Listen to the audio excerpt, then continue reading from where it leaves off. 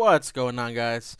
Uh, today I have a quick, well, not really too quick, but uh, I just have a review and a demonstration on an app I found on Cydia. It's called Display Recorder. Um, the features of this app are self-explanatory. Uh, pretty much what it do, what it does is it records your display.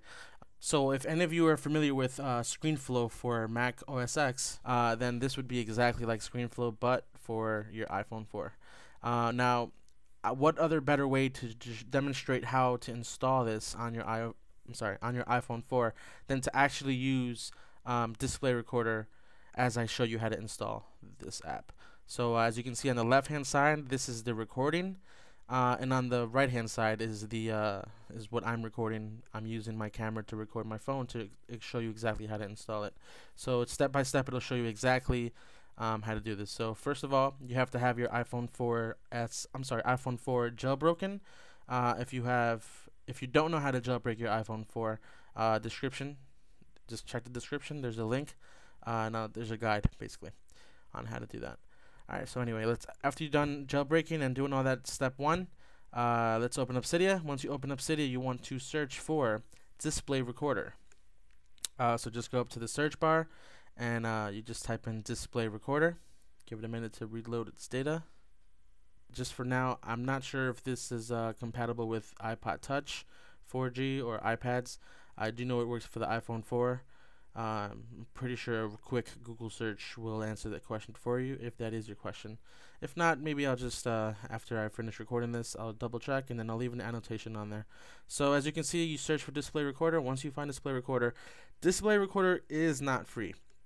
That's the only downfall on this whole thing. But uh, honestly, four ninety nine is a little pricey for an app on Cydia, but it's not. Honestly, it's not that bad, and it is worth it. Um, if you are interested in it, you can purchase it, and once you finish purchasing it, I mean, you can then go ahead and download it. Um, as you can see, these are all the features that are included. Um, the recording is available in, uh, I believe it's MJPG and AVI, or H264 uh, two different formats.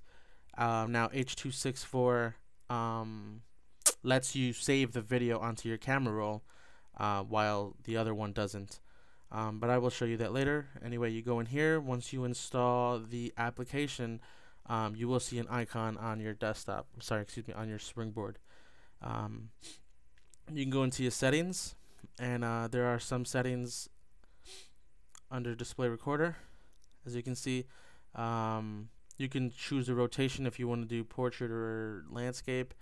Um, just a whole bunch of different recordings. You can actually also uh, um, enable your YouTube account directly from there and be able to upload directly to YouTube from the actual app. Um, but let's open up the app real quick and I'm going to show you. Again, as you can see on the left hand side, the recording is exactly the same as the one that you see on the right hand side. Um, but let me just stop the recording just so I can show you exactly how the video looks afterwards. After you finish recording, um, these are the options right here for an H.264. Um, these options are not the same if you use MJPG um, um, or AVI.